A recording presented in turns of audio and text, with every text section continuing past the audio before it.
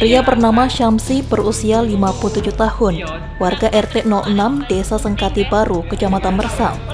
Saat dalam perjalanan pulang dari kebun bersama temannya Amri, warga RT 03 Desa Sengkati Gedang, dengan mengendarai sepeda motor masing-masing, ditembak oleh orang tak dikenal. Saat itu korban berada di posisi belakang Amri. Syamsi ditembak di punggung oleh orang tak dikenal hingga tewas dan langsung dibawa ke Rumah Sakit Umum Hampa Muara Bulia. Kasat Reskrim Polres Batanghari masih memburu pelaku. Sejauh ini tiga orang diperiksa sebagai saksi. Dijelaskan Kasat Reskrim Polres Batanghari AKP Pietiardi bahwa kepolisian tidak bisa mendeteksi proyektil peluru yang masuk lantaran pecah dan menyebar hingga mengenai jantung Syamsi. Pihak keluarga tidak menginginkan untuk dilakukan otopsi. Hal ini menyebabkan polisi tidak bisa mendeteksi terlalu jauh.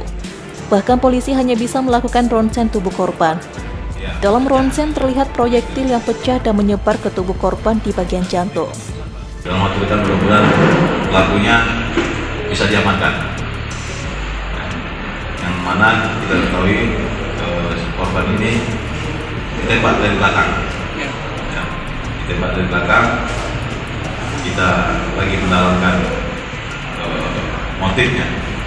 Ya, nah, jadi untuk jenis peluru yang ditembakkan itu kita tidak bisa deteksi karena pihak keluarga korban tidak mau dilakukan otopsi. AKP Pietiardi berharap pelaku segera tertangkap karena sejauh ini masih diduga penembakan tersebut merupakan peluru nyasar dan belum diketahui siapa pelaku yang melakukan penembakan tersebut. Selamat Riyadi, Cek TV, melaporkan.